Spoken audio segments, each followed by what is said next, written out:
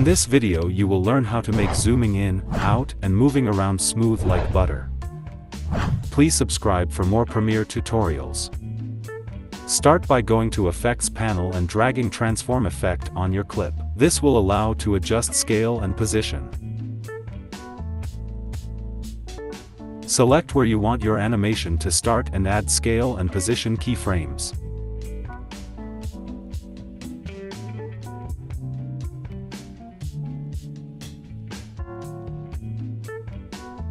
Add second keyframes and set where you want to zoom by adjusting scale and position.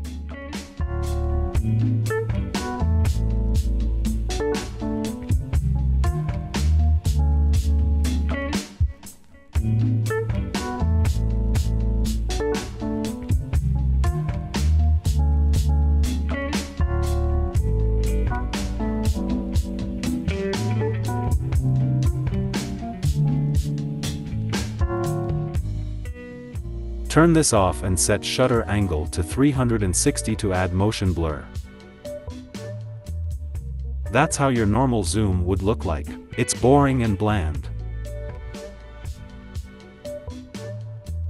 Now let's spice it up by adjusting velocity. To access the velocity graph click this arrow next to position and scale controls. Drag these lines to the middle so they create a spike on the middle of the graph.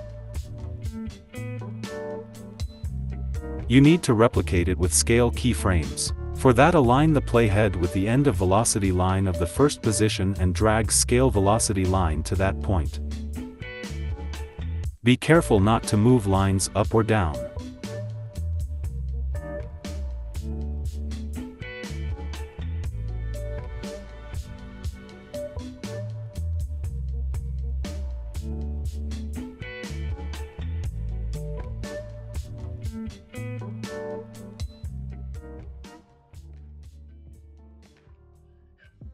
Make sure to line them up or else it will look bad.